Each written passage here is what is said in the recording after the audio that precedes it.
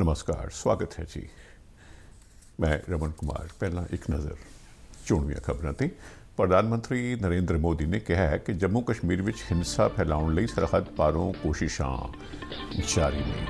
ਨਾਸਿਕ ਵਿੱਚ ਚੋਣ ਰੈਲੀ ਦੌਰਾਨ ਉਹਨਾਂ ਕਿਹਾ ਕਿ ਜੰਮੂ ਕਸ਼ਮੀਰ ਚੋਂ ਤਾਰਾ 370 ਸਮਾਪਤ ਕਰਨ ਦਾ ਮਕਸਦ ਭਾਰਤ ਵਿੱਚ ਇਕਤਾ ਲਿਆਉਣਾ। ਰਾਸ਼ਟਰਪਤੀ ਰਾਮਨਾਥ ਕੋਵਿੰਦ ਵੱਲੋਂ ਈ ਸਿਗਰਟ ਤੇ ਪਾਬੰਦੀ ਲਗਾਉਣ ਬਾਰੇ ਆਰਡੀਨੈਂਸ ਨੂੰ ਮਨਜ਼ੂਰੀ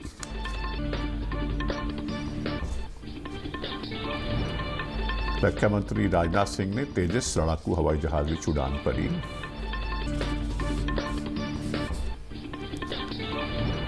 ਕੇਂਦਰੀ ਗ੍ਰਹਿ ਮੰਤਰੀ ਅਮਿਤ ਸ਼ਾਹ ਦੀ ਪ੍ਰਧਾਨਗੀ ਵਿੱਚ ਉੱਤਰ ਸੋਨਲ ਕੌਂਸਲ ਦੀ ਪੜ ਕੇ ਚੰਡੀਗੜ੍ਹ ਵਿੱਚ ਹੋਈ ਮੀਟਿੰਗ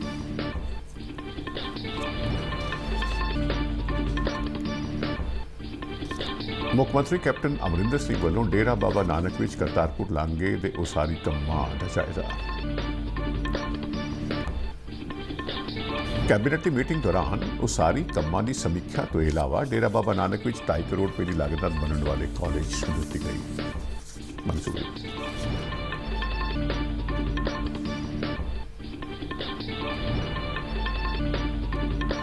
ਭਾਰਤ ਦੇ ਰਵੀ ਕੁਮਾਰ ਦਾਹੀਆ ਤੇ ਬਜਰੰਗ ਪੁਨੀਆ ਵਿਸ਼ਵ ਕੁਸ਼ਤੀ ਚੈਂਪੀਅਨਸ਼ਿਪ ਦੇ ਸੈਮੀਫਾਈਨਲ ਵਿੱਚ ਪਹੁੰਚੇ 올림픽 ਲਈ ਕੀਤੀ ਆਪਣੀ ਥਾਂ ਪੱਕੀ ਤੇ ਹੁਣ ਖਬਰਾਂ ਵਿੱਚ ਸਾਡਾ ਪ੍ਰਧਾਨ ਮੰਤਰੀ ਨਰਿੰਦਰ ਮੋਦੀ ਨੇ ਕਿਹਾ ਕਿ ਜੰਮੂ ਕਸ਼ਮੀਰ ਵਿੱਚ ਹਿੰਸਾ ਫੈਲਾਉਣ ਦੀਆਂ ਸਰਹੱਦ ਪਾਰੋਂ ਕੋਸ਼ਿਸ਼ਾਂ ਲਗਾਤਾਰ ਜਾਰੀ ਰਹੀ ਮਹਾਰਾਸ਼ਟਰ ਵਿੱਚ ਆਉਂਦੀਆਂ ਵਿਧਾਨ ਸਭਾ ਚੋਣਾਂ ਲਈ ਅੱਜ ਨਾਸਿਕ ਵਿੱਚ ਇੱਕ ਚੋਣ ਰੈਲੀ ਨੂੰ ਸੰਬੋਧਨ ਕਰਦੇ ਮੋਦੀ ਹੋਣਾ ਕਿਹਾ ਕਿ ਜੰਮੂ ਕਸ਼ਮੀਰ 'ਚ ਧਾਰਾ 370 ਸਮਾਪਤ ਕਰਨ ਦਾ ਮਕਸਦ ਭਾਰਤ ਵਿੱਚ ਏਕਤਾ ਪੈਦਾ ਕਰਨਾ ਹੈ। ਉਹਨਾਂ ਕਿਹਾ ਕਿ ਅਸੀਂ ਕਸ਼ਮੀਰ ਨੂੰ ਸਵਰਗ ਬਣਾਉਣਾ ਹੈ ਤੇ ਹਰ ਇੱਕ ਕਸ਼ਮੀਰੀ ਨੂੰ ਗੱਲ ਨਾਲ ਲਾਉਣਾ ਹੈ। ਇਹ ਫੈਸਲਾ जम्मू कश्मीर और लद्दाख के लोगों को हिंसा के, आतंक के, अलगाव के, भ्रष्टाचार के कुचक्र से निकालने के लिए है। ये फैसला भारतीय एकता और अखंडता के लिए ये हमारी प्रतिबद्धता तो थी जम्मू कश्मीर के लोगों की आकांक्षा, उनके सपनों को पूर्ति का भी माध्यम बनने वाला है। राष्ट्रपति रामनाथ कोविंद ने ई सिगरेट की पाबंदी लगाने बारे ऑर्डिनेंस मंजूरी दे दी है। कल केंद्रीय कैबिनेट वालों ई सिगरेट की पाबंदी लाने बारे ऑर्डिनेंस प्रवान किया गया जिस तहत ਈ ਸਿਗਰਟਾਂ ਦੀ ਪੈਦਾਵਾਰ ਦਰਾਮਦ ਵੰਡ ਅਤੇ ਵਿਕਰੀ ਤੇ ਪਾਬੰਦੀ ਲਗਾਈ ਜਾਣ ਦੀ ਵਿਵਸਥਾ ਕੀਤੀ ਗਈ ਹੈ। ਈ ਸਿਗਰਟ ਤੇ ਪਾਬੰਦੀ ਲਗਾਉਣ ਦੇ ਫੈਸਲੇ ਬਾਰੇ ਦੱਸਦਿਆਂ ਕੇਂਦਰੀ ਖਜ਼ਾਨਾ ਮੰਤਰੀ ਨਿਰਮਲਾ ਸੀਤਾਰਾਮਨ ਨੇ ਕਿਹਾ ਕਿ ਈ ਸਿਗਰਟਾਂ ਤੇ ਇਸ ਦੇ ਨਾਲ ਦੀਆਂ ਦੂਜੀਆਂ ਵਸਤਾਂ ਲੋਕਾਂ, ਖਾਸ ਕਰਕੇ ਨੌਜਵਾਨਾਂ ਦੀ ਸਿਹਤ ਲਈ ਖਤਰਾ ਨੇ।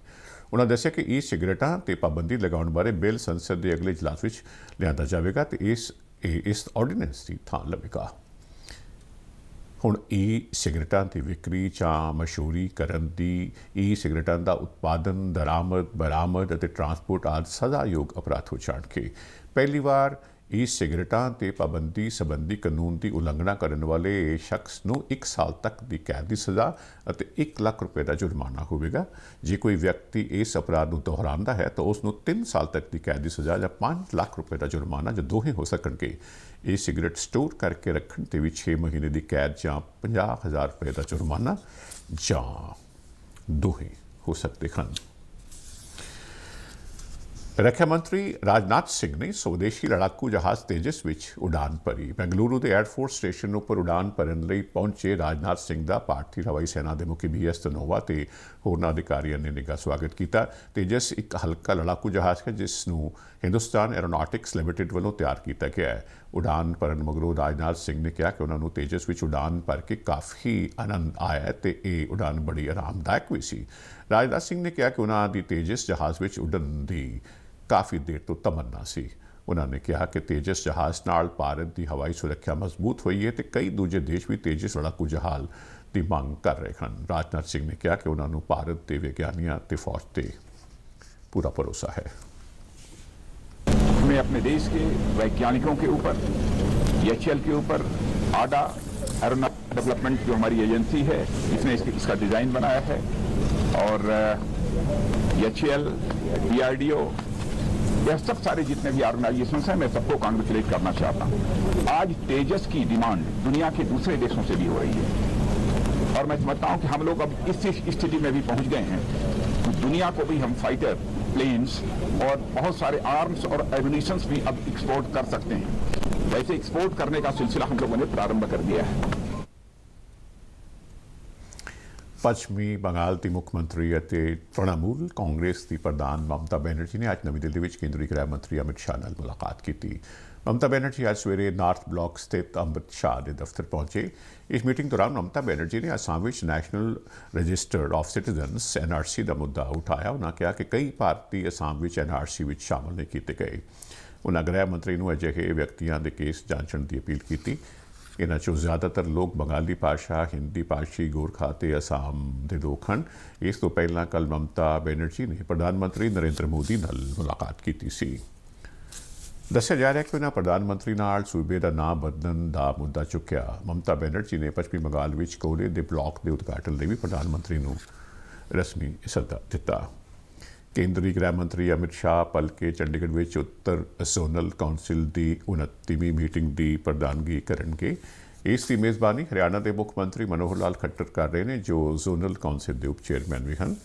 ਜ਼ੋਨਲ ਕਾਉਂਸਲ ਵਿੱਚ ਪੰਜਾਬ, ਹਰਿਆਣਾ, ਹਿਮਾਚਲ ਪ੍ਰਦੇਸ਼ ਅਤੇ ਰਾਜਸਥਾਨ ਤੋਂ ਇਲਾਵਾ ਜੰਮੂ ਕਸ਼ਮੀਰ, ਲੱਦਾਖ ਅਤੇ ਕੌਮੀ ਰਾਜਧਾਨੀ ਦਿੱਲੀ ਦੇ ਕੇਂਦਰ ਸ਼ਾਸਿਤ ਪ੍ਰਦੇਸ਼ ਵੀ ਆਉਂਦੇ ਨੇ।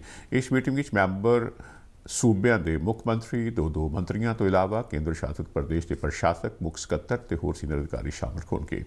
ਪਿਛਲੀ ਵਾਰ ਕੌਂਸਲ ਦੀ ਮੀਟਿੰਗ ਚੰਡੀਗੜ੍ਹ ਵਿੱਚ 2017 ਵਿੱਚ ਹੋਈ ਸੀ। ਕੌਂਸਲ ਦੀ ਮੀਟਿੰਗ ਦੌਰਾਨ ਸੂਬਿਆਂ ਦੀਆਂ ਸੀਮਾਵਾਂ ਸੰਬੰਧੀ ਵਿਵਾਦ, ਸੁਰੱਖਿਆ, ਮੂਲ ਢਾਂਚਾ ਸੰਬੰਧੀ ਮਾਮਲੇ ਜਿਵੇਂ ਸੜਕਾਂ, ਟਰਾਂਸਪੋਰਟ, ਸਨਅਤਾਂ, ਪਾਣੀ ਅਤੇ ਬਿਜਲੀ ਵਰਗੇ ਮੁੱਦਿਆਂ ਤੇ ਚਰਚਾ ਹੋਵੇਗੀ। ਇਹਨਾਂ ਤੋਂ ਇਲਾਵਾ ਜੰਗਲਾਤ ਅਤੇ ਵਾਤਾਵਰਣ ਮਕਾਨ ਉਸਾਰੀ, ਸਿੱਖਿਆ, ਖੁਰਾਕ ਸੁਰੱਖਿਆ ਸੈਰ ਸਪਾਟਾ ਮੁੱਦਿਆਂ ਤੇ ਵੀ ਵਿਚਾਰ ਵਟਾਂਦਰਾ ਹੋਵੇਗਾ ਕੇਂਦਰੀ ਖੇਤੀਬਾੜੀ ਤੇ ਕਿਸਾਨ ਭਲਾਈ ਮੰਤਰਾਲੇ ਵੱਲੋਂ ਝੋਨੇ ਦੇ ਉਤਪਾਦਨ ਵਿੱਚ ਸਰਬੋਤਮ ਕਾਰਗੁਜ਼ਾਰੀ ਲਈ ਕ੍ਰਿਸ਼ੀ ਕਰਮਨ ਅਵਾਰਡ ਵਾਸਤੇ ਪੰਜਾਬ ਦੀ ਚੋਣ ਕੀਤੀ ਗਈ ਹੈ। ਪੰਜਾਬ ਨੂੰ ਇਹ ਅਵਾਰਡ 2017-18 ਲਈ ਦਿੱਤਾ ਜਾਵੇਗਾ। ਭਾਰਤ ਸਰਕਾਰ ਵੱਲੋਂ ਦਿੱਤੇ ਜਾਣੇ, ਦਿੱਤੇ ਜਾਂਦੇ ਇਸ ਮਾਣਮੱਤੇ ਅਵਾਰਡ ਵਿੱਚ ਇੱਕ ਟਰਾਫੀ, ਸ਼ਲਾਘਾ ਪੱਤਰ ਤੇ 2 ਕਰੋੜ ਰੁਪਏ ਦੀ ਨਕਦ ਰਾਸ਼ੀ ਸ਼ਾਮਲ ਹੈ। ਪੰਜਾਬ ਦੇ ਮੁੱਖ ਮੰਤਰੀ ਕੈਪਟਨ ਅਮਰਿੰਦਰ ਸਿੰਘ ਨੇ ਕ੍ਰਿਸ਼ੀ ਕਾਰਬਨ ਅਵਾਰਡ ਨੂੰ ਸੂਬੇ ਦੇ ਕਿਸਾਨਾਂ ਦੀ ਵੱਡੀ ਪ੍ਰਾਪਤੀ ਦੱਸਿਆ ਹੈ। ਉਹਨਾਂ ਨੇ ਪੰਜਾਬ ਦੀ ਚੋਣ ਦਾ ਸੇਰਾ ਸੂਬੇ ਦੇ ਕਿਸਾਨ ਭਾਈਚਾਰੇ ਦੀ ਸਖਤ ਮਿਹਨਤ ਮੁਸ਼ਕਲ ਅਤੇ ਕਾਬਲੀਅਤ ਦੇ ਸਿਰ ਬੰਨਿਆ ਜਿਨ੍ਹਾਂ ਨੇ ਅਨਾਜ ਦੀ ਪੈਦਾਵਾਰ ਵਿੱਚ ਦੇਸ਼ ਨੂੰ ਆਤਮ ਨਿਰਭਰ ਬਣਾਉਣ ਲਈ ਕਾਰਗਰ ਭੂਮਿਕਾ ਨਿਭਾਈ ਹੈ। ਮੁੱਖ ਮੰਤਰੀ ਦਫ਼ਤਰ ਦੇ ਬੁਲਾਰੇ ਨੇ ਦੱਸਿਆ ਕਿ ਕੇਂਦਰੀ ਮੰਤਰਾਲੇ ਨੇ ਕਿਸਾਨਾਂ ਨੂੰ ਟੈਕਨੋਲੋਜੀ ਨਾਲ ਜੁੜੀਆਂ ਸੁਵਿਧਾਵਾਂ ਤੇ ਹੋਰ ਸੇਵਾਵਾਂ ਦੇਣ ਵਿੱਚ ਕੀਤੇ ਸਮਰਪਿਤ ਉਪਰਾਲਿਆਂ ਲਈ ਸੂਬਾ ਸਰਕਾਰ ਨੂੰ ਵਧਾਈ ਦਿੱਤੀ ਹੈ। ਸੂਬਾ ਸਰਕਾਰ ਨੂੰ ਝੋਨੇ ਦਾ ਉਤਪਾਦਨ ਕਰਨ ਵਾਲੇ ਦੋ ਕਿਸਾਨਾਂ ਦੀ ਚੋਣ ਕਰਨ ਲਈ ਵੀ ਕਿਹਾ ਗਿਆ, ਜਿਨ੍ਹਾਂ ਨੇ ਸੂਬੇ ਦੇ ਅਨਾਜ ਭੰਡਾਰ ਵਿੱਚ ਵੱਧ ਤੋਂ ਵੱਧ ਯੋਗਦਾਨ ਪਾਇਆ ਹੋਵੇ। ਚੁਣੇ ਗਏ ਕਿਸਾਨਾਂ ਨੂੰ ਪ੍ਰਸ਼ੰਸਾ ਪੱਤਰ ਸਮੇਤ 2 ਲੱਖ ਰੁਪਏ ਦੀ ਰਾਸ਼ੀ ਨਾਲ ਸਨਮਾਨਿਤ ਕੀਤਾ ਜਾਏਗਾ। ਇਸ ਦੌਰਾਨ ਸੂਬੇ ਦੇ ਖੇਤੀਬਾੜੀ ਸਕੱਤਰ ਕੇ ਐਸ ਪੰਨੂ ਨੇ ਦੱਸਿਆ ਕਿ ਸਾਉਣੀ 2017 ਵਿੱਚ ਝੋਨੇ ਹੇਠ 30 ਲੱਖ 64 ਹਜ਼ਾਰ ਹੈਕਟੇਅਰ ਰਕਬਾ ਸੀ ਤੇ 1 ਕਰੋੜ 99 ਲੱਖ 65 ਹਜ਼ਾਰ ਮੀਟ੍ਰਿਕ ਟਨ ਰਿਕਾਰਡ ਪੈਦਾਵਾਰ ਹੋਈ ਸੀ। ਕਰਤਾਰਪੁਰ ਲਾਂਗੇ ਦੇ ਕਾਰਜਾਂ ਦੀ ਤਰੱਕੀ ਦਾ ਜਾਇਜ਼ਾ ਲੈਣ ਲਈ ਅੱਜ ਪੰਜਾਬ ਦੇ ਮੁੱਖ ਮੰਤਰੀ ਕੈਪਟਨ ਅਮਰਿੰਦਰ ਸਿੰਘ ਦੀ ਪ੍ਰਧਾਨਗੀ ਵਿੱਚ ਡੇਰਾ ਬਾਬਾ ਨਾਨਕ ਵਿਖੇ ਪੰਜਾਬ ਕੈਬਨਿਟ ਦੀ ਮੀਟਿੰਗ ਹੋਈ। ਇਸ ਮੀਟਿੰਗ ਦੌਰਾਨ ਜਿੱਥੇ ਕਰਤਾਰਪੁਰ ਲਾਂਗੇ ਲਈ ਹੋ ਰਹੀਆਂ ਉਸਾਰੀਆਂ ਤੇ ਚਰਚਾ ਕੀਤੀ ਗਈ, ਉੱਥੇ ਡੇਰਾ ਬਾਬਾ ਨਾਨਕ ਵਿੱਚ 2.5 ਕਰੋੜ ਰੁਪਏ ਦੀ ਲਾਗਤ ਨਾਲ ਬਣਨ ਵਾਲੇ ਕਾਲਜ ਨੂੰ ਮਨਜ਼ੂਰੀ ਵੀ ਦਿੱਤੀ ਗਈ। ਮੀਟਿੰਗ ਤੋਂ ਪਹਿਲਾਂ ਮੁੱਖ ਮੰਤਰੀ ਕੈਪਟਨ ਅਮਰਿੰਦਰ ਸਿੰਘ ਨੇ ਕੈਪਟਨ ਕਰਤਾਰਪੁਰ ਕੋਰੀਡੋਰ ਦੇ ਉਸਾਰੀ ਕੰਮਾਂ ਦਾ ਜਾਇਜ਼ਾ ਲਿਆ। ਉਹਨਾਂ ਉਸਾਰੀ ਕੰਮਾਂ ਦੀ ਪ੍ਰਗਤੀ ਤੇ ਤਸੱਲੀ ਪ੍ਰਗਟ ਕੀਤੀ। ਉਹਨਾਂ ਆਖਿਆ ਕਿ ਕਰਤਾਰਪੁਰ ਲਾਂਘੇ ਦਾ ਕੰਮ 30 ਅਕਤੂਬਰ ਤੋਂ ਪਹਿਲਾਂ ਮੁਕੰਮਲ ਹੋਣਾ ਚਾਹੀਦਾ ਹੈ ਸਾਡੀ ਜਿਹੜੀ ਅੱਜ ਵਿਜ਼ਿਟ ਇਸ ਕਰਤਾਰਪੁਰ ਸਾਹਿਬ ਰੱਖਿਆ ਉਹਨੇ ਡੇਰਾ ਬਾਬਾ ਨਾਨਕ ਰੱਖਿਆ ਕਰਤਾਰਪੁਰ ਸਾਹਿਬ ਕੋਰੀਡੋਰ ਵਾਸਤੇ ਐਂਡ ਇਹ ਜਿਹੜੀ ਅਸੀਂ ਅਹਿਮੀਅਤ ਸਮਝਦੇ ਹਾਂ ਅਸੀਂ ਆਪਣੀ ਕੈਬਨਿਟ ਵੀ ਹੋਰੀ ਰੱਖੀ ਹੈ ਅਸੀਂ ਘਰ ਤੋਂ ਅੱਜ ਜਿਹੜਾ ਅਸੀਂ ਪ੍ਰੋਗਰਾਮ ਦੱਸਿਆ ਨਾਲੇ ਸਾਨੂੰ ਨੈਸ਼ਨਲ ਹਾਈਵੇ ਦੇ ਔਰ ਸੈਂਟਰਲ ਗਵਰਨਮੈਂਟ ਤੇ ਔਰ ਸਾਡੇ ਪੰਜਾਬ ਗਵਰਨਮੈਂਟ ਦੇ ਅਫਸਰਾਂ ਨੇ ਸਾਨੂੰ ਬਰੀਫ ਕੀਤਾ we are very much on time 30th of October cut off date ਹੈ ਲਾਸਟ ਡੇਟ ਐਂਡ ਸਾਰਿਆਂ ਨੇ ਮੈਨੂੰ ਅਸ਼ੋਰੈਂਸ ਦਿੱਤੀ ਹੈ ਕਿ ਇਸ ਤੋਂ ਪਹਿਲਾਂ ਆਪ ਸਭ ਕੁਝ ਤਿਆਰ ਹੋ ਜਾਏਗਾ ਸ਼੍ਰੀ ਗੁਰੂ ਨਾਨਕ ਦੇਵ ਦੇ 550 ਸਾਲਾ ਪ੍ਰਕਾਸ਼ ਪੁਰਬ ਨੂੰ ਸਮਰਪਿਤ ਅੰਤਰਰਾਸ਼ਟਰੀ ਨਗਰ ਕੀਰਤਨ ਬੀਤੀ ਰਾਤ ਸਿੱਖ ਕੌਮ ਦੇ ਮਹਾਨ ਅਸਥਾਨ ਤਖਤ ਸ਼੍ਰੀ ਹਜ਼ੂਰ ਸਾਹਿਬ ਨਾਂਦੇੜ ਵਿਖੇ ਪਹੁੰਚਿਆ ਇਸ ਤੋਂ ਪਹਿਲਾਂ ਇਹ ਨਗਰ ਕੀਰਤਨ ਸ਼੍ਰੀ ਅਕਾਲ ਤਖਤ ਸਾਹਿਬ, ਤਖਤ ਸ਼੍ਰੀ ਕੇਸਗੜ੍ਹ ਸਾਹਿਬ, ਸ਼੍ਰੀ ਅਨੰਦਪੁਰ ਸਾਹਿਬ ਤੇ ਤਖਤ ਸ਼੍ਰੀ ਪਟਨਾ ਸਾਹਿਬ ਦੀ ਯਾਤਰਾ ਕਰ ਚੁੱਕਿਆ ਹੈ। ਅੰਤਰਰਾਸ਼ਟਰੀ ਨਗਰ ਕੀਰਤਨ ਪੰਜ ਤਖਤ ਸਾਹਿਬਾਨ ਦੀ ਯਾਤਰਾ ਕਰਦਾ ਹੋਇਆ ਸ਼ਤਾਬਦੀ ਸਮਾਗਮਾਂ ਦੇ ਕੇਂਦਰੀ ਸਥਾਨ ਸੁਲਤਾਨਪੁਰ ਲੋਧੀ ਸਥਿਤ ਗੁਰਦੁਆਰਾ ਸ਼੍ਰੀ ਬੀਰ ਸਾਹਿਬ ਵਿਖੇ 5 ਨਵੰਬਰ ਨੂੰ ਸੰਪੰਨ ਹੋਵੇਗਾ।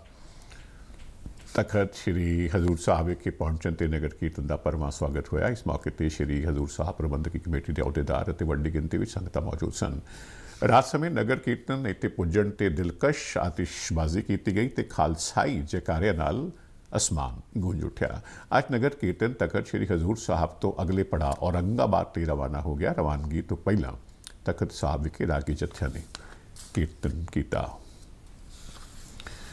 ਸ਼੍ਰੀ ਗੁਰੂ ਨਾਨਕ ਦੇਵ ਸਾਹਿਬ ਦੇ 550 ਸਾਲਾ ਪ੍ਰਕਾਸ਼ ਪੁਰਬ ਨੂੰ ਸਮਰਪਿਤ ਸ਼੍ਰੋਮਣੀ ਗੁਰਦੁਆਰਾ ਕਮੇਟੀ ਵੱਲੋਂ ਅੰਮ੍ਰਿਤਸਰ ਦੇ ਗੁਰੂ ਨਾਨਕ ਭਵਨ ਸਿਟੀ ਸੈਂਟਰ ਵਿੱਚ ਬਲਕਿ ਰਾਸ਼ਟਰੀ ਸੈਮੀਨਾਰ ਕਰਵਾਇਆ ਜਾ ਰਿਹਾ ਹੈ ਅੱਜ ਇਸ ਬਾਰੇ ਜਾਣਕਾਰੀ ਦਿੰਦਿਆਂ ਕਮੇਟੀ ਦੇ ਕੋਆਰਡੀਨੇਟਰ ਤੇ ਸ਼੍ਰੋਮਣੀ ਕਮੇਟੀ ਦੇ ਵਧੀਕ ਸਕੱਤਰ ਸੁਖਦੇਵ ਸਿੰਘ ਪੂਰਾ ਕੋਹਨਾ ਨੇ ਦੱਸਿਆ ਕਿ ਰਾਸ਼ਟਰੀ ਅਤੇ ਅੰਤਰਰਾਸ਼ਟਰੀ ਸੈਮੀਨਾਰਾਂ ਦੀ ਲੜੀ ਵਿੱਚ ਕਰਵਾਏ ਜਾਣ ਵਾਲੇ ਸੈਮੀਨਾਰ ਦੌਰਾਨ ਸਿੱਖ ਕੌਮ ਦੀਆਂ ਪ੍ਰਮੁੱਖ ਸ਼ਖਸੀਅਤਾਂ ਸ਼ਿਰਕਤ ਕਰਨਗੀਆਂ।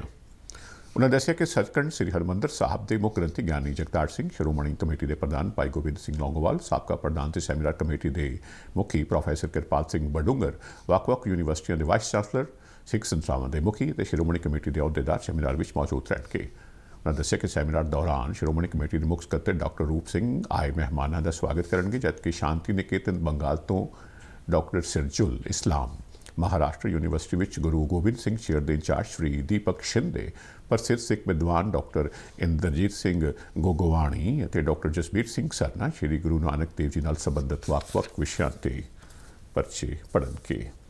ਇੱਧਰ ਦੂਜੀ ਪਾਤਸ਼ਾਹੀ ਸ਼੍ਰੀ ਗੁਰੂ ਅੰਗਦ ਦੇਵ ਜੀ ਦਾ 480ਵਾਂ ਗੁਰੂ ਤਾ ਗੱਦੀ ਦਿਵਸ ਖਡੂਰ ਸਾਹਿਬ ਵਿਖੇ ਸ਼ਰਧਾ ਤੇ ਉਤਸ਼ਾਹ ਨਾਲ ਮਨਾਇਆ ਗਿਆ ਗੁਰੂ ਤਾ ਗੱਦੀ ਦਿਵਸ ਮੌਕੇ ਗੁਰਦੁਆਰਾ ਸ਼੍ਰੀ ਅੰਗੀਠਾ ਸਾਹਿਬ ਵਿਖੇ ਧਾਰਮਿਕ ਦੀਵਾਨ ਸਜਾਏ ਗਏ ਜਿਸ ਵਿੱਚ ਪੰਜ ਪ੍ਰਸਿੱਧ ਰਾਗੀ ਢਾਡੀ ਤੇ ਕਵੀ ਸ਼੍ਰੀ ਜੱਥੇ ਨੇ ਗੁਰੂ ਯਸ਼ ਗਾ ਕੇ ਸੰਗਤਾਂ ਨੂੰ ਨਿਹਾਲ ਕੀਤਾ ਹਜ਼ਾਰਾਂ ਦੀ ਗਿਣਤੀ ਵਿੱਚ ਸ਼ਰਧਾਲੂਆਂ ਨੇ ਗੁਰਦੁਆਰਾ ਸਾਹਿਬ ਵਿੱਚ ਮੱਥਾ ਟੇਕਿਆ ਗੁਰੂ ਅੰਗਦ ਦੇਵ ਜੀ ਤੇ ਗੁਰੂ ਤਾ ਗੱਦੀ ਦਿਵਸ ਮੌਕੇ ਸੀਪੀਆਈ ਵੱਲੋਂ ਵਿਸ਼ਾਲ ਕਾਨਫਰੰਸ ਦਾ ਆਯੋਜਨ ਕੀਤਾ ਗਿਆ। ਕਾਨਫਰੰਸ ਵਿੱਚ ਸੀਪੀਆਈ ਦੇ ਕੌਮੀ ਕੌਂਸਲ ਮੈਂਬਰ ਨਿਰਮਲ ਸਿੰਘ ਧਾਲੀਵਾਲ ਤੇ ਸੂਬਾ ਕਾਰਜਕਾਰਨੀ ਮੈਂਬਰ ਹਰਭਜਨ ਸਿੰਘ ਤੋਂ ਇਲਾਵਾ ਵੱਡੀ ਗਿਣਤੀ ਵਿੱਚ ਪਾਰਟੀ ਆਗੂਆਂ ਨੇ ਸ਼ਿਰਕਤ ਕੀਤੀ, ਜਿਨ੍ਹਾਂ ਨੇ ਦੇਸ਼, ਸਮਾਜ ਤੇ ਨੌਜਵਾਨਾਂ ਨਾਲ ਸੰਬੰਧਿਤ ਅਨੇਕ ਸਮੱਸਿਆਵਾਂ ਤੇ ਚਰਚਾ ਕੀਤੀ।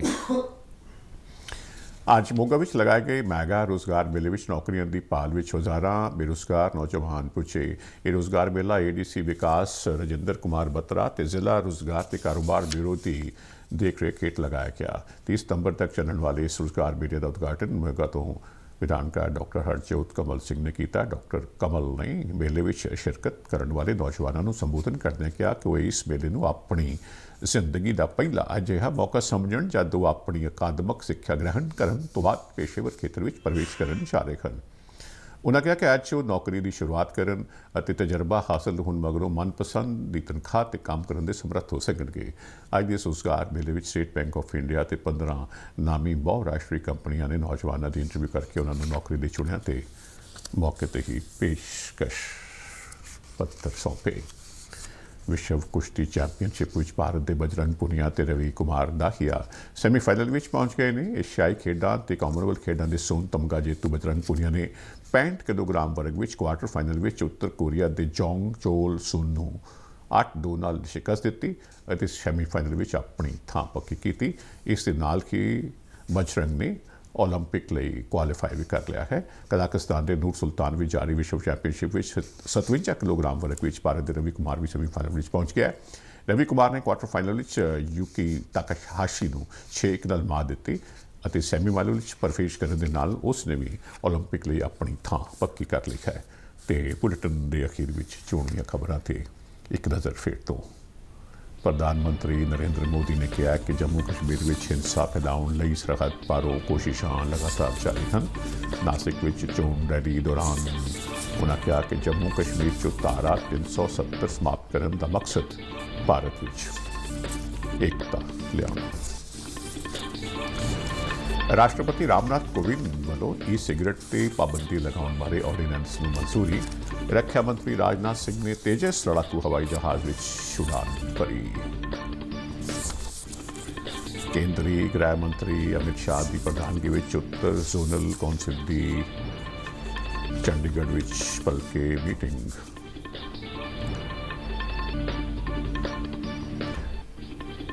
ਮੁੱਖ ਮੰਤਰੀ ਕੈਪਟਨ ਅਮਰਿੰਦਰ ਸਿੰਘ ਵੱਲੋਂ ਡੇਰਾ ਬਾਬਾ ਨਾਨਕ ਵਿੱਚ ਕਰਤਾਰਪੁਰ ਲਾਂਘੇ ਦੇ ਉਸਾਰੀ ਕੰਮਾਂ ਦਾ ਜਾਇਜ਼ਾ ਕੈਬਨਿਟ ਦੀ ਮੀਟਿੰਗ ਦੌਰਾਨ ਉਸਾਰੀ ਕੰਮਾਂ ਦੀ ਸਮੀਖਿਆ ਤੋਂ ਇਲਾਵਾ ਡੇਰਾ ਬਾਬਾ ਨਾਨਕ ਵਿੱਚ 2 ਕਰੋੜ ਰੁਪਏ ਦੀ ਲਾਗਤ ਨਾਲ ਬਣਨ ਵਾਲੇ ਕਾਲਜ ਨੂੰ ਮਨਜ਼ੂਰੀ ਭਾਰਤ ਦੇ ਰਵੀ ਕੁਮਾਰ ਦਾਹੀਆ ਤੇ ਬਜਰੰਗ ਪੂਨੀਆ ਵਿਸ਼ਵ ਕੁਸ਼ਤੀ ਚੈਂਪੀਅਨਸ਼ਿਪ ਦੇ ਸੈਮੀਫਾਈਨਲ ਵਿੱਚ 올림픽 ਲਈ ਕੀਤਾ ਕੁਆਲੀਫਾਈ ਸੋ ਜੀ ਇਸ ਇਸ ਬੁਲੇਟਿਨ ਦੀ ਖਬਰਾਂ ਹੁਣ ਇਜਾਜ਼ਤ ਚਾਹਾਂਗੇ। ਨਮਸਕਾਰ।